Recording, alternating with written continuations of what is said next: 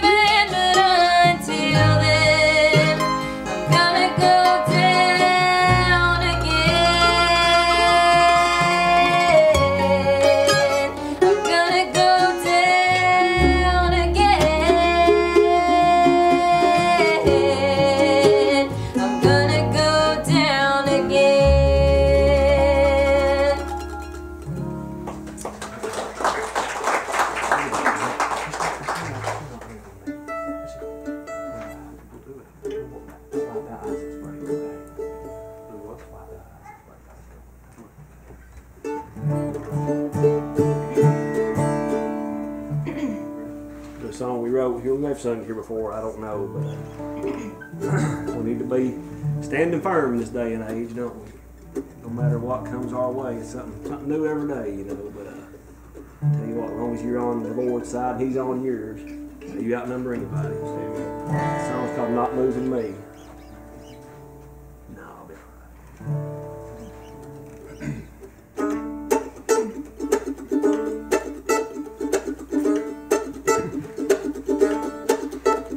my house upon a rock, a firm foundation.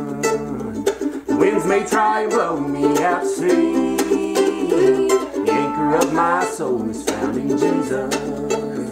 The rains may come, but they're not moving me, not moving me.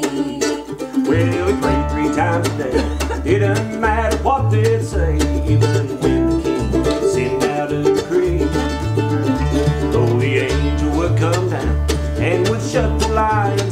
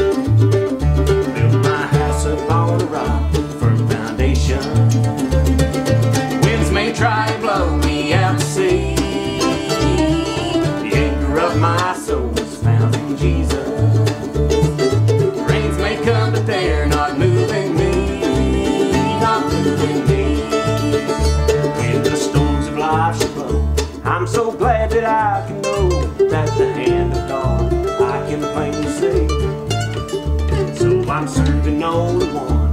It's the Father and the Son. No storms rage on me, oh, not moving me. I built my house upon a rock,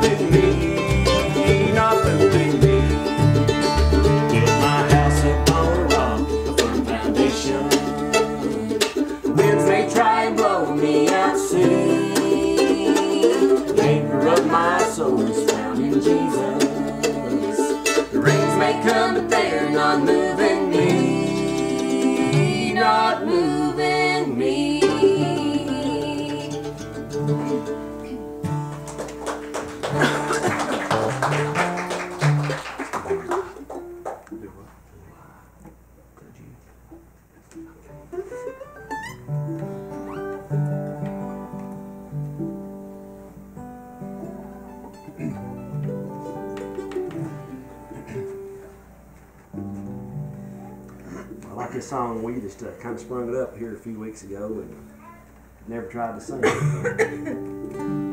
Y'all probably know what it's called, Who Am I? And uh, I've wondered about that often. That's why we look down upon us. Just no speck of dirt's all we are. Just nobodies. And to choose to leave the splendors of heaven and come down here and give his life for us on old rugged cross. you know, still today I don't understand that, but you know, as I said, He is love. I'm glad for His mercy, His grace, and His long suffering, and anyway, putting up with us like He does.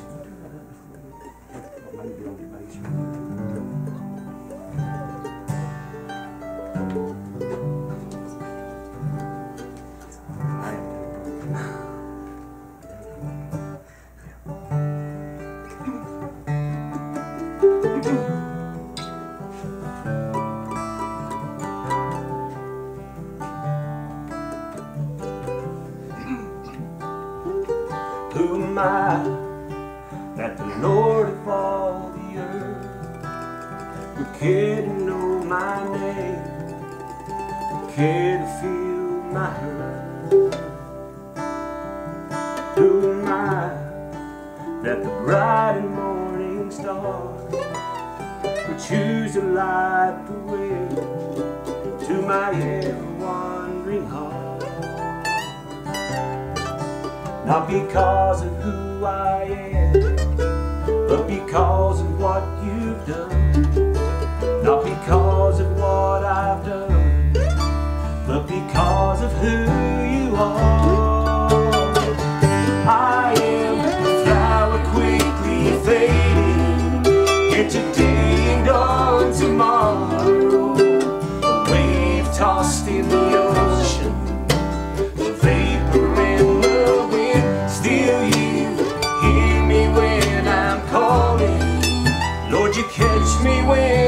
And you told me who I am.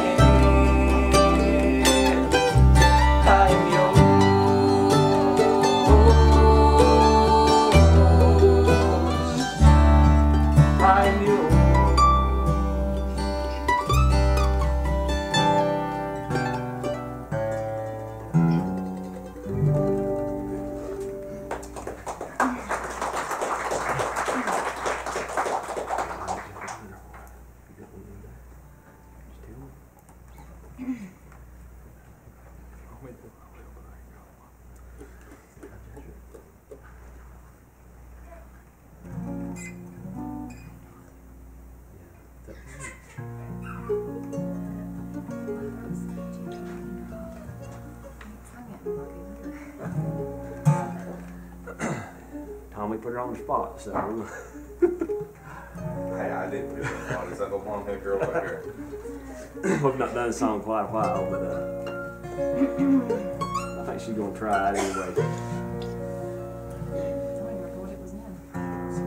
If we tear it up, it'll be the first time.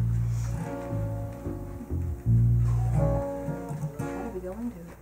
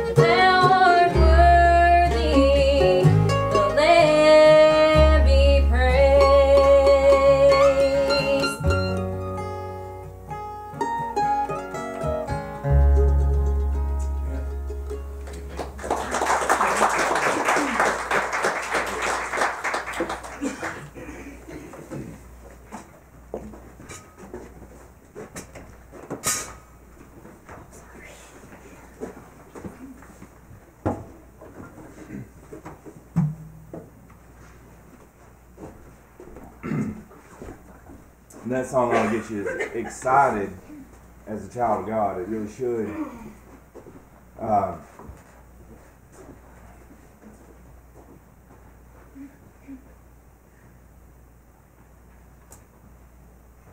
I give you. I, I'll get you up here in a minute. I promise.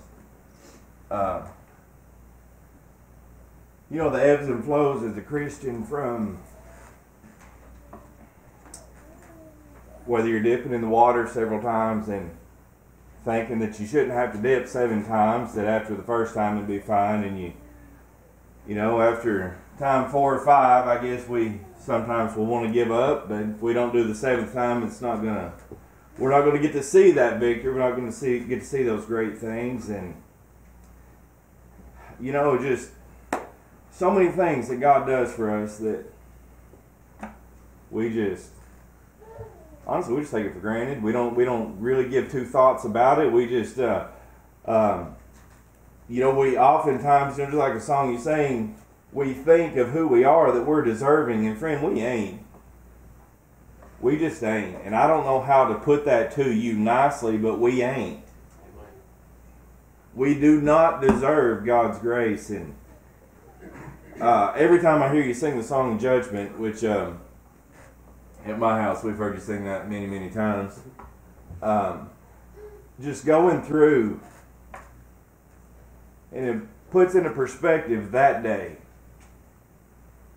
That day. Because you know the Bible teaches if we resist the devil, he will flee from us, and that's really our only combatant that we have is the Word of God and just resisting him and, and, and, and trusting that God's got us. But the day that we get to see our victory, our accuser who's always brings up the old memories that uh, won't ever let you forget what God can't remember. Church, we will be able to stand to and praise. And we can do that now. Because it's written in God's Word and it's going to happen. We don't have, you know, it's a day that we're waiting for, but uh, we already know it's coming. And so does your accuser. But if he can get those seeds of doubt and he can just keep you just just stumbling, just tripping, just you know, just just, just barely hanging on, that's the only way he can win. And he's not going to defeat God, but he can defeat us by letting us just stumble along. Friend, God's got this. 100% we serve a risen Savior. Death, hell, and the grave cannot stop your Jesus. The same power that raised him from the grave is the same power that he put in you.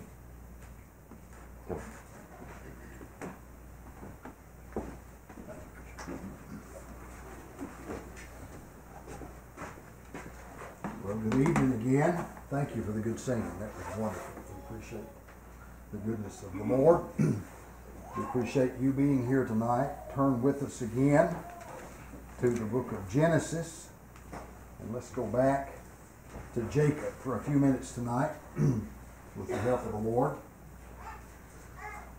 Uh, let me let me say, Brother Tommy, I appreciate the invitation to, to have been here with you this week. And I appreciate church, you being here, and our visiting friends that have come to support the meeting. And we pray the Lord's helped you, and uh, that He will continue to help you. Uh, let me get let me get this thing where I want it to be just for a minute. There's a couple of things here I want to give to you, and then we'll get into the text.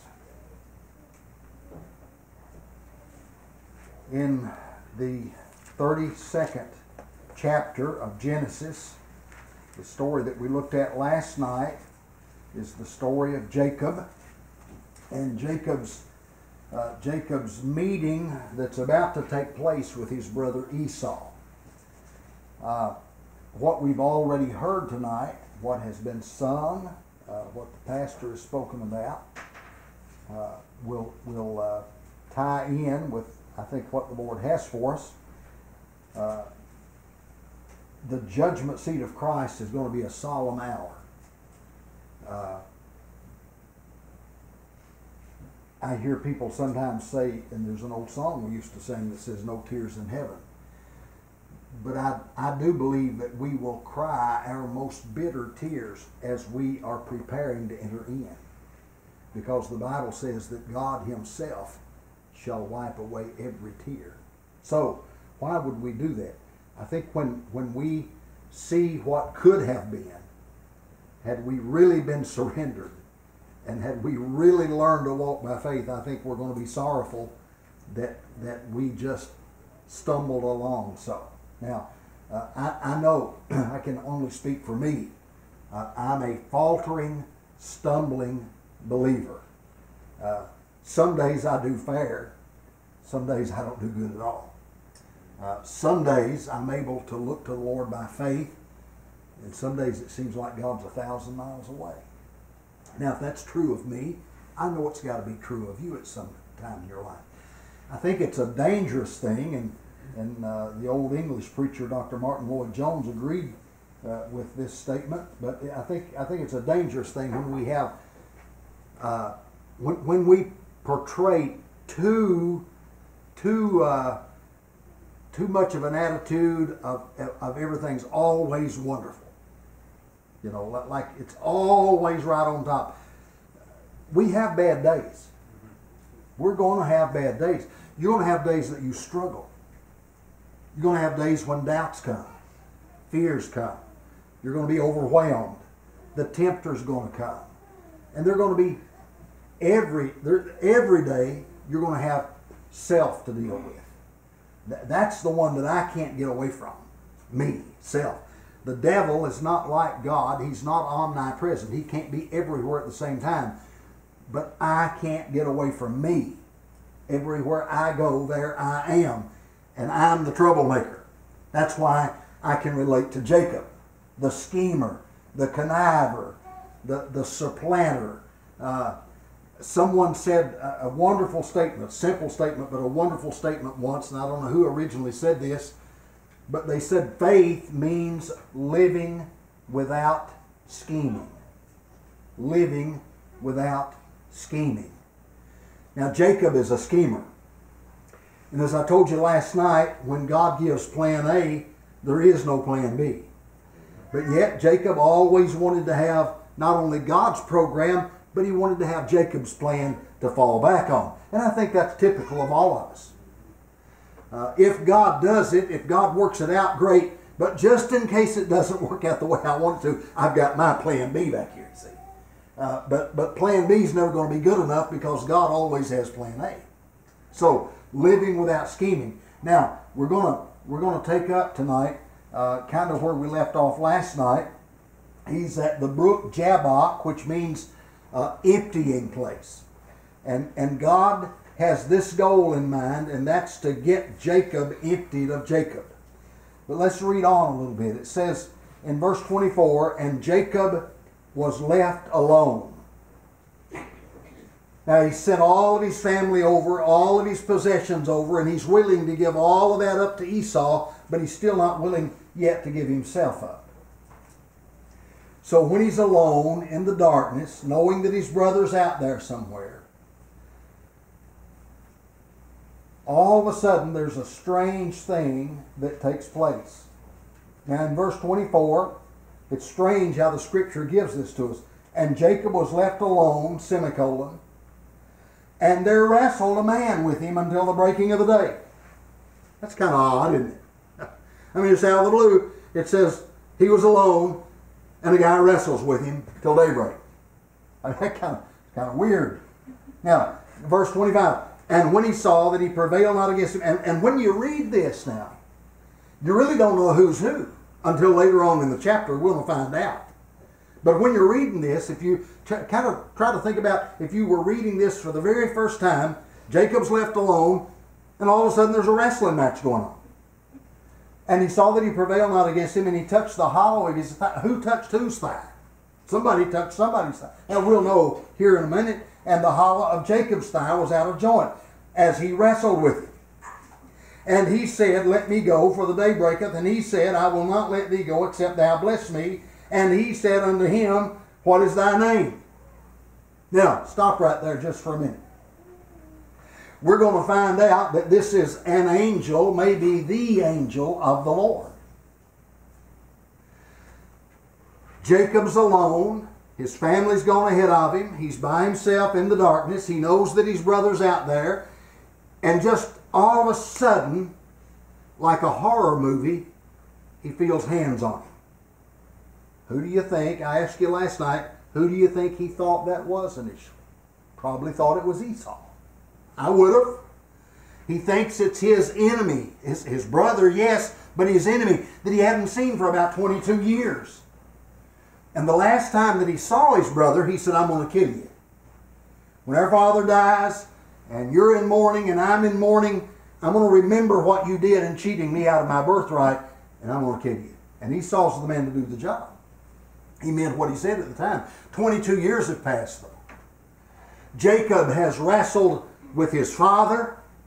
He's wrestled with his. He's wrestled with with with with uh, uh, his his father-in-law Laban. He's deceived his father. Remember that? Now and and and now God comes to him as a wrestler. Uh, you know, Abraham was a traveler. Abraham was a pilgrim. And you know that God met him, I think it's Genesis 28, met him as a pilgrim, as a, as a traveler. Uh, you, you'll find that God will meet you many times uh, as you are. And, and the thing that's troubling you, God has a way of bringing that to you and bringing you face to face with it. Now, in Jacob's case, he's wrestled with all these people, not necessarily in a spiritual or in, in a physical realm, but a spiritual wrestling match. And so now he finds himself engaged in this wrestling match that's going to go on till the breaking of the day. And this, this we know later is going to be an angel, looks at him, and he says the strangest thing. What's your name, son? Now, do you think that this angel was flying around the planet Earth and he looks down and sees Jacob down there by himself and says, You know, there's an old boy down there sitting by the river Jabbok. I think I'll fly down there and wrestle with him till the sun comes up. No, he knew who he was. He knew exactly who he was. But Jacob is going to have to admit who he is. Now, here's the whole message tonight. Do you know who you are in the sight of God? Now, are we his children? Yes, if we've been saved by the grace of God, the blood of Christ is applied because we've repented and we've turned to Christ in faith. But before we can be saved, it's been said many, many times, we have to be lost. Amen. We have to recognize our lostness in order to need a Savior. Now, a lot of people never get lost enough to want to be saved. That's the trouble with America. Nobody's a sinner anymore. Nobody's wrong. It's nobody's fault. You're just born that way. It's just because, you know, you've got a bad temper. That people say it all the time. I can't help it. That's just the way I am. The problem is we don't want to help it. And it is a problem of our birth. It is a problem, something that we are born with. We're born with a sin nature. Every one of us came into this world with it. We didn't have to be taught to sin. We didn't have to be taught to lie. We learned that before we could talk. We learned how to deceive. We learned how to cry out in the darkness. We learned how to cry for attention. We learned how to, to pout. We learned how to be mad over little things. And sadly, some people never outgrow it. So, remember, remember that as far as we know in Scripture, the last time that Jacob was asked this question, and, and the question really, it's not clear in our translation where he says, What is thy name? That word name, he's really saying, What, what are you known for? See, the names in Scripture had some great significance. And, and it wasn't just that names were thrown out at random, but they had spiritual significance. And, and the name Jacob, this wrestler, this schemer, this conniver, the last time that we know of that he was asked this question was by his own daddy. You remember that? He went in before Isaac and he's he's conniving. He's doing what Jacob does best. Esau, the Bible says, was a hairy man. How hairy? Real hairy. Because because uh, Jacob goes out and kills a goat and puts the skins on his on his arms and around his neck, and and and, and so the old man, I, his his his vision is so dim he can't tell distinguish who's who, and and so he has his son to come near him. He said, "Who are you?" And what did he say? He said, well, "I'm Esau." Come here, let me feel of you.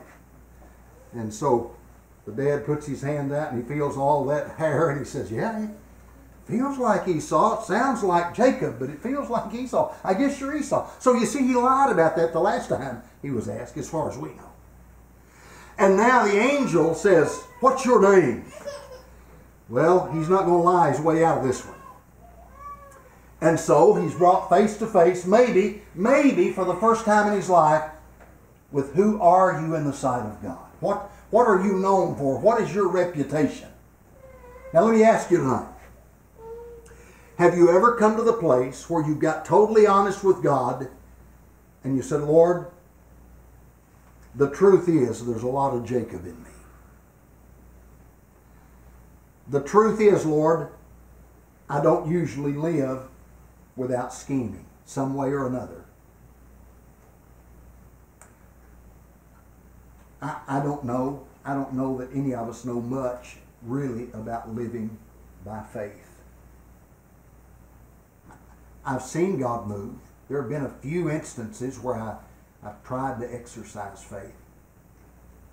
But by and large, over the years, I haven't had to exercise faith a great amount because I always had something to fall back on. Uh, I, I, remember a time when at our little bank there in Liberty, Kentucky, uh, to borrow a few hundred dollars, big deal. Mean, it was a big deal. Uh, Mr. Elmer Allen was the bank president. And you'd go in to see him if you needed a loan. I remember when I was a, uh, in my late, or well, mid to late teens, probably I went in one day to try to borrow $400 to buy some calves. And Mr. Allen, he was an old man, you know, looked down over his glasses, and he he would type out your loan your, your loan request. You know, he used the biblical method of typing. It was seek and ye shall find, and he he'd look and peck and hunt and peck, and he'd type it out. And he was, you need real gruff guys. You need how much money, boy? I said, uh, I need about four hundred dollars, Mr. Allen. He said, that's a lot of money. I said, yes, sir, I know it is. And he said, uh, you got any collateral? Look over his glasses at me, and I said, uh, no, sir. I said, Mr. Allen, if I had collateral, I wouldn't be here. Whose boy are you? I said, well, I'm, uh, I'm Colbert Kaufman's son. Oh, well, I, I guess you'll be all right. Uh, Your dad's all right. I guess you'll be all right. I've done business with your grandpa. You'll be all right. So he loaned me the money. And uh, then a little later, you'd need to borrow enough money to buy a car. And It'd have to go before the loan committee, and they'd have to think about it, and they'd meet about it, and they'd talk about it. And you'd go in and ask and apply for the loan one day, and about a week later, you'd get the okay or the turn down. Well, as the years passed, not not that I had achieved anything, not that I had anything, but I guess I'd borrowed enough money over the years and paid enough money back that uh, one day I found myself sitting in one of the little restaurants, you know, and and uh, president of the bank, new guy now comes through, another guy that came up through the ranks, and he comes through and he sees me and said, "Hey, what? You about ready for a new car?" No, sir. Well, all you got to do is come down and see us now. We got the money waiting on you. That's why I'm telling that long story to tell you that kind of takes faith out of it, doesn't it? Uh, after a while, you don't really have to pray about it. You just have to go in and apply for it. Or you just have to pull the plastic out and swipe it through the slot and say, hey, I got it. I got it. And churches began to operate like businesses rather than people who operated by prayer. And rather than really seeking the Lord about what He wants for us and really seeing God open the door, we revert back to what Jacob did. And we pray our prayer like he did last night that we read. And then immediately when he closes his prayer, he sets his own plan into operation.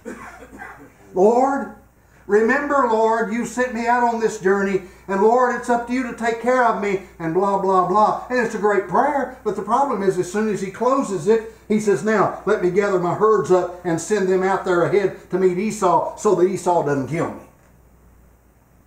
So he's not trusting God, even though he says he's trusting God. He prays to God, but then he leaves it at the end of his prayer, he leaves it with himself again. So he's living by scheming, not without scheming. So here he is now, face to face with this angelic being, and he says, What is your name? And maybe for the first time in his life, he says, I'll tell you who I am. I'll tell you what I'm known for. I'm known as the schemer. If you don't believe me, ask my dad. I, I was a schemer when I when I deceived my father and made him think I was my brother Esau. I deceived my brother out of his rightful birthright. I deceived my father-in-law Laban. And old Laban took him to school on how to how to rip somebody off. Laban was a schemer too. But then they parted ways and and, and, and when I think Jacob, when he got gone from there, he said, Good riddance. Now all of a sudden he's got another mile marker in front of him. He's got his brother out there coming to meet him, and he thinks this is him, but it's not. It's not. It's an encounter with God. And what he thought was the worst thing in the world that could possibly happen to him, it wasn't the worst thing. It wasn't his brother. It wasn't a murderer. It wasn't his enemy. It was God. Now, let me ask you this Do we recognize God when he shows up? when something happens in your life and you think it's the worst thing that could possibly happen, let me ask you, is there a chance that it might be God? Is there a possibility that God is wrestling with you, saying, What are you known for? What's your reputation? Not necessarily with men, it was that case with Jacob. That's what men knew him as the schemer and the conniver that he was. But more importantly, God knew him as that. And Jacob has to get totally honest with God. And here's the thing God cannot bless you the way he wants to bless you until he finally gets you to the end of yourself. Until he gets you to the place where you say, Lord, I'm unworthy. I'm weak. I'm needy. I'm faltering, Lord. Somebody said it like this not too long ago, and I, I read it somewhere, and it really stuck with me. They said that Christians shouldn't strut. That makes sense to you? Christians shouldn't strut. Now, if you're a farm boy or girl, you know what a strutting rooster is. If you watch any sports, you know what it is to see guys strut. And sometimes gals too. The proud look. And by the way, that's the very first thing that God calls out as one of the seven things that he hates in Proverbs 6. A proud look. And how many Americans are carrying that proud look around about, look at me? You see what I, yeah, here's the thing, I'm old enough now that it's almost comical at times to see some of these some of these young athletes that are so proud of their physique. They're so proud of what they are and what they look like and what and I'm thinking, oh bud, just wait a few years. Just wait a few years. the time's got a way of taking the pride out of you. I, I used to walk a, a, a, wall plate when I was helping build houses, and uh, that uh, three and a half inch two before I could walk that wall plate and I could carry one end of a truss and never miss a lick. Didn't bother me. I could look down, I could keep right on trucking, didn't bother me at all. And a year or two ago, I was crossing the gate in the barn and got dizzy. I said, What in the world happened to me? Well, uh, that'll take the pride out of you. That'll take the pride out of you. You're a straddle of a gate about four foot off the ground, and your head starts kind of I'm thinking, what in the world is going on? This is not like me. And God said, no, no, son, you're getting closer home. That's true of every one of you here. And whether you're 25 or 85, every day that passes over your head, you're getting closer home. And so it would behoove us tonight to acknowledge to God what we really are. And, and get the pride out of the way and quit bragging and boasting, whether we do it internally or outwardly, and just come clean with God and say, Lord, I, I, I got a lot of Jacob in me. Now let's, real quickly, I'm almost done. He said in verse 28, and he said, Thy name shall be called no more Jacob. So Jacob answered that when he said, What's your name in verse 27? He said, Jacob. I believe he said it with a broken heart. I, I believe that he really realized who he was in the sight of God. And, and this, this being, this angel says, Your name shall be called no more Jacob, but Israel. For as a prince hast thou power with God and with men, and hast prevailed. And Jacob asked him and said, Tell me, I pray thee, thy name. And he said, Wherefore is it that thou dost ask after my name? And he blessed him there. He said, Not important. You know, he said, It's more important that you recognize who you are right now in the sight of God than it is to know the name of the being. And Jacob called the name of the place Peniel, for I have seen God face to face, and my life is preserved. And as he passed over Peniel, the sun rose upon him, and he halted upon his thigh. Therefore the children of Israel eat not of the sinew which shrank, which is upon the hollow of the thigh, unto this day, because he touched the hollow of Jacob's thigh in the sinew that shrank. Now, real quickly, for the rest of his days, he'll be known primarily as Israel, a prince with God, wrestler with God, depending on how it's translated. But once in a while, he'll still be called Jacob. And even on his deathbed, and I love this part, the Bible says that Jacob, Jacob raised himself in the bed, and Israel gave up the ghost. So there he is, the two natures still struggling.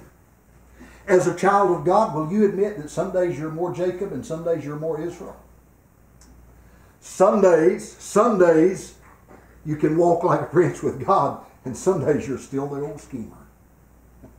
Some moments we're close to God, some moments we seem to be a long way away. That's, that's the life of a believer. That's what every one of us wrestle with. So don't ever let anybody deceive you into saying that they're always on the mountaintop. That's not true of anybody. Anybody that tries to come across that way is lying to you. Because they too have bad days, and they too have times of slipping, and they too have times of failure. But as the days pass, we pray that we'll become more Israel and less Jacob. As the days pass, more of God, less of me. Whether it's preaching, working a job, mingling with people in the public area, I pray that it becomes less of Kaufman, more of the Lord. More of Christ, less of me. To the point that I get completely out of the spotlight and I'm completely hidden away. And that all they can see is the Lord Jesus. That's the goal for every child of God. Now, Jacob has had his, his thigh touched by this angel. And I, I don't know why they wrestled all night. Uh, six, seven hours. I don't know how long it was, in a long time. And I know that God has sent one angel and destroyed armies with it. So, so this is not a, a matched feat. This is not a fight where they're evenly matched. I, just know that for some reason God allowed him to wrestle till the day broke. Now, I was thinking about this today. I think a lot of things that go through your mind if you fight all night for your life. You're wrestling with this being somewhere in the in the fight, not, probably not long into it, he realized that this is not Esau. I don't know who this is. I don't even know what this is, but it's not Esau. And as they continue to wrestle and struggle and fight and the kicking and the gouging and the pulling and all the all the licks that are thrown, all this thing that goes on through the night, all that's going through Jacob's mind has got to be chaotic. And finally, finally, this being touches his thigh and cripples him. Now, he could have put a stop to the fight immediately. There wouldn't have been any fight to it. But for some reason, Jacob has to be engaged in this wrestling match, maybe to wear him down. I don't know. But I do know this the next day, here's this man, all the family knew Jacob. We know Jacob was a proud man. I believe he walked erect and he stuck his chest out and he was proud of who he was. And the family knew him to be that kind of man. But the next morning, when they've all gone ahead and they're camped somewhere out there waiting on Esau, and somebody looks up and they see coming over the brow of the hill this fella, and he's he's got a pole he's leaning on. And he comes a hobbling over the mountain. And they look and they said, Who in the world? Who's that coming? I don't know. Looks like an old man.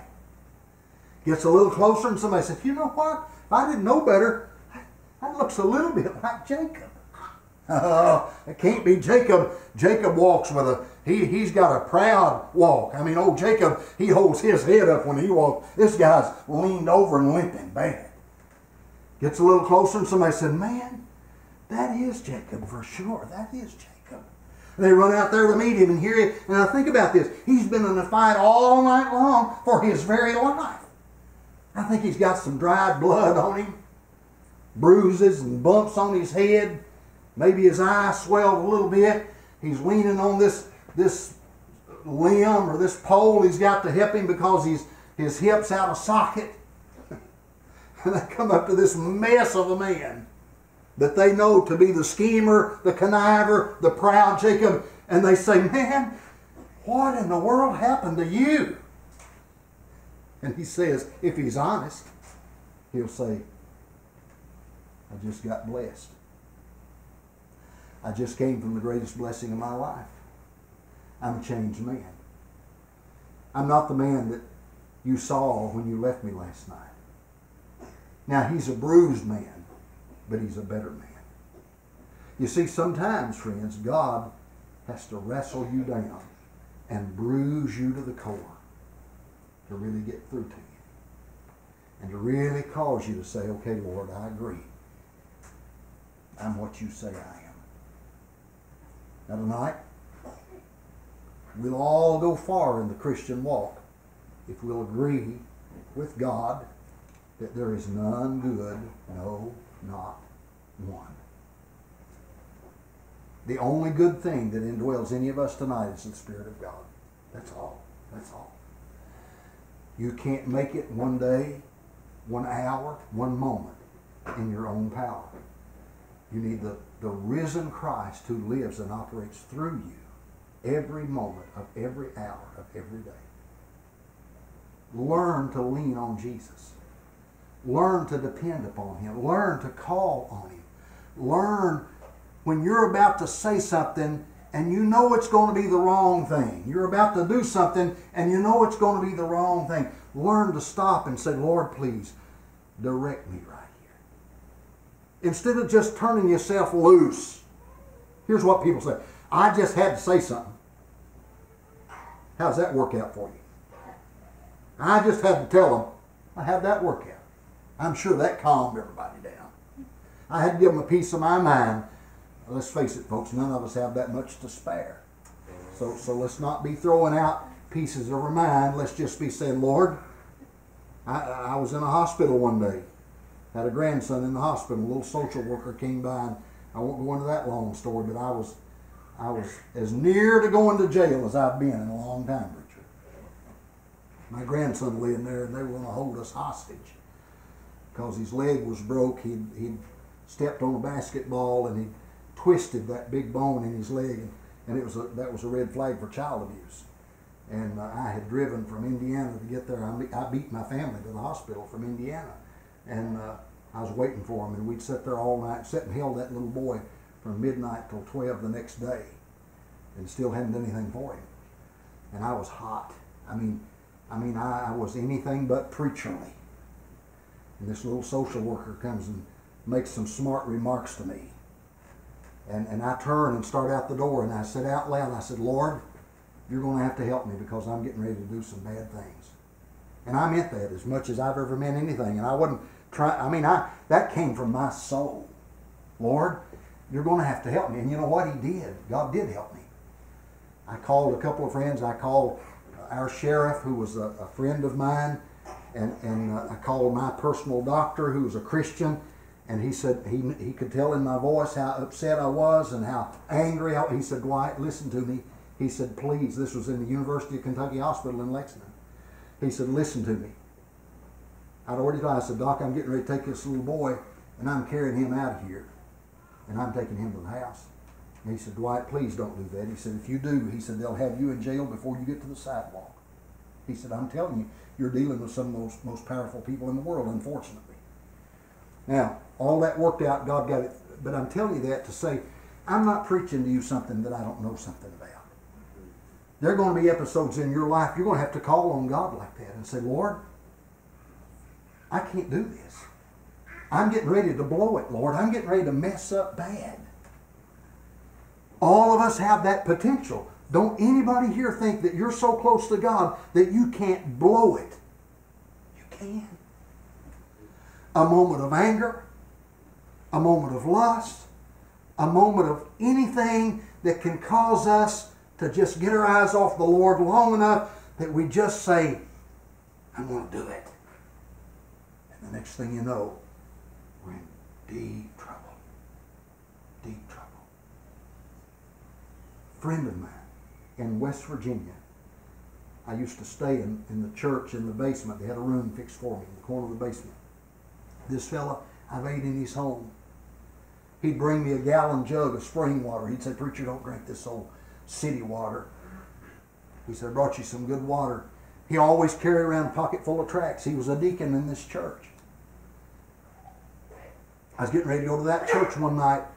The pastor called me, had a revival schedule, and he said, I want you to know before you come. He said, We've got a bad situation in the church. I said, Well, I'm sorry to hear it. What happened? He said, One of- our men shot and killed two people. I said, Really? And folks, I want to tell you, if I had guessed, if he'd have said, Guess who? This man would have been on the very bottom of the list.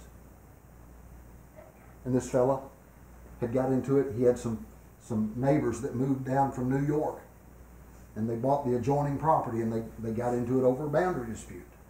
And one thing led to another and they got madder and madder and they, they just they just kept picking at him and picking at him and talking to him and, and his, his kids were grown but they would make foul remarks to his children and they were crowding him you had to drive down the creek bed to get over into his property and I've been to his home and ate with him. And he was there shoveling gravel and they had this on on an audio tape. The couple had a camera and they brought it with them and they were walking down and, and they forgot to take the lens cap off and you hear the man say to the woman, There's the so and so and cursed him, you know. We'll get we'll we'll make him do such and such today. And they walk up to this friend of mine and I went I went to the I went to the trial. I was in a meeting in the area and I went to his trial and, and they played this audio tape. And, and and you hear you hear them walk up and they exchange a few words and I hear my friend in a strange sounding voice. I hear him say, Do either one of you have anything you want to say before you die? And I hear the chamber of a gun. And he's got a bolt action 30 6 rifle, and I hear him shuck in around. And the guy says, Run, he's got a gun. And they start running through the woods, and you hear the gun go off. And all of a sudden, the camera falls. And the, the, the lens cap comes off, and you're looking at the trees up in the woods. And you hear another shot. And then you hear a third shot. And he shot them both in the back. He shot the woman first, and he shot the man the last time. Shot the woman twice. Shot the man once, killed them both, went to town. Laid his rifle up on the sheriff's desk and said, I've killed two people. And they laughed at him because everybody knew him. Everybody knew this guy, most mild-mannered guy you'll ever run into. They said, Why, Ray, you haven't killed anybody? And he said, You'll find their bodies out there on the edge of my property or on their property. Now, I'll tell you something, church. Don't ever think you're above anything. I went, I went to my friend in the break in that trial and I said, Ray, I said, I don't know what to say. I said, I'm, I'm sorry this has happened. And he just looked at me and said, Preacher, I'm just glad it's over. Don't ever think that you can't be pushed to the limit. I'm telling you some of those sad things to tell you this tonight. We all still have a little of the old nature in us. And unless we learn to walk with God, somebody's liable will come along and punch you a button one day, and you'll find out just how much Jacob's still left in you. I don't want that. I don't want that. I, I know, I know I can, I can be a, a horrible person if I'm left to myself. And I don't want that. I don't think you do either. So if, if we have revival, and at, at this stage of the game in America, we, we need personal revival. And if we have it, it'll be when we cultivate a personal walk with God, that we're willing to admit to, to God who we are, and we look to Him to change us. Let's stand just for a minute tonight.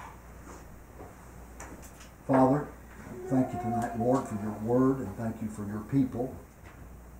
Thank you, Lord, for this pastor and, and this congregation and for the invitation to have been here.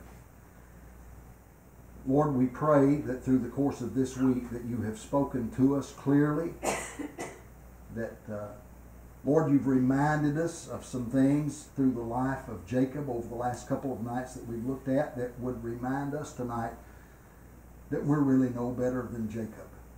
It's easy, Lord, for us to look at a man like Jacob and and be an armchair quarterback and find all kind of faults and ridicule him for who he was. But Lord, the truth is we're just like him.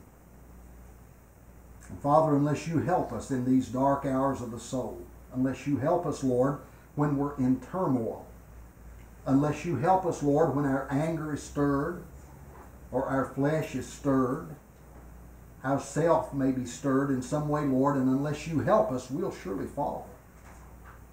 I pray tonight, Lord, that you've helped someone here tonight and that you'll help us in the days to come. In the power of a risen Christ, for we ask in his name and for his sake we pray. Amen.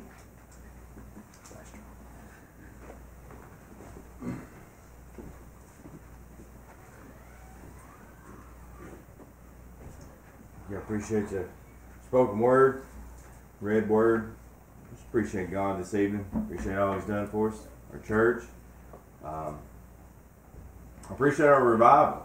And, uh, a time to come together to, to to hear of God, to learn of Him, and to I mean, I can only speak for me, but to learn of me, more of me that I didn't. I guess that I always knew that I didn't really. I guess want to thank them. Um, truly appreciate it.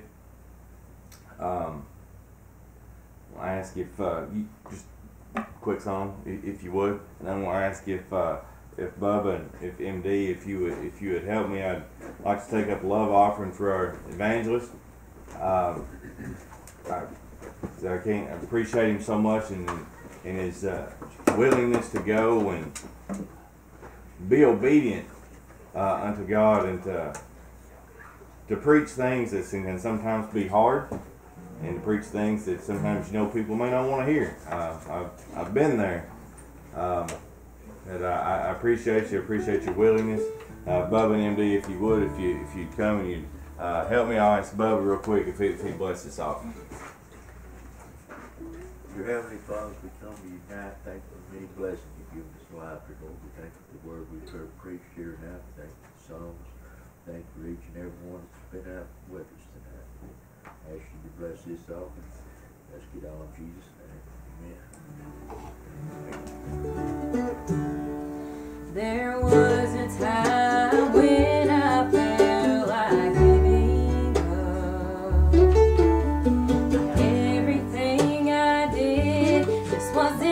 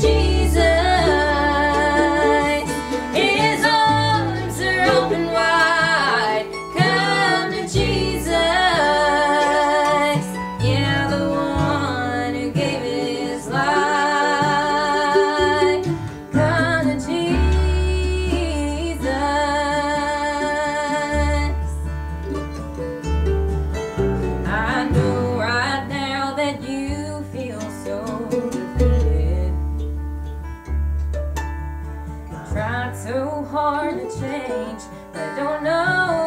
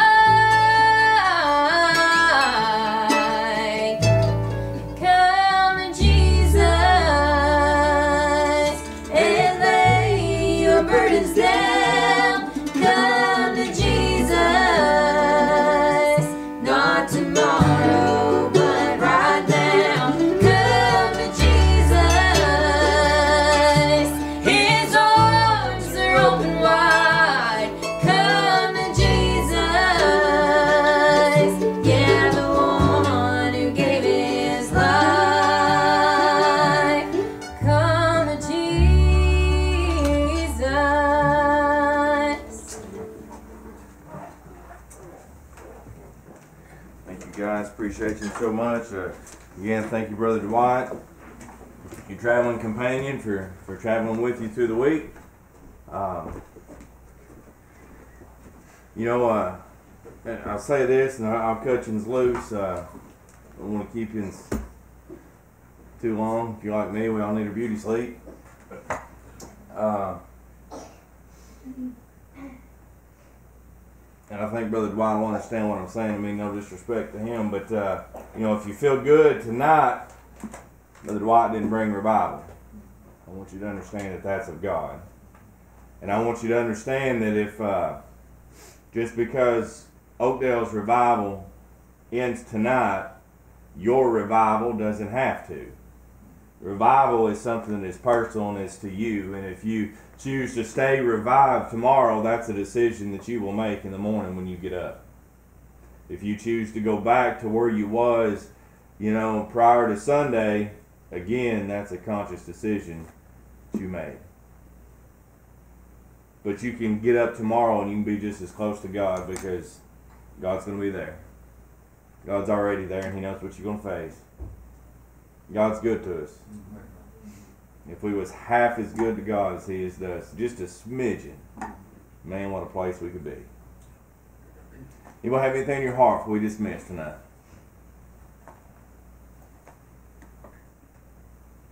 Appreciate your attendance, truly do. Um, uh, glad you can be with us. If you don't have a home church, uh, you know, oddly enough, we meet here about every Sunday. You're welcome to come to Oak Dale and uh, uh, come uh, worship with us. We'd love to have you. Uh, again, just like to remind you, you know, coming up in May, on or not in May, but on June the fifth, we'll be having our Bible school here. There's some flyers back there in the back. Um, you can take them, post them at your church, wherever you may go. We'd love to have you kids here. Um, and if your kids are anything like mine, I know you need a break at least one Saturday. So we'd, we'd love to have them. Uh, come be with us if you can. MD, you care to dismiss us, please?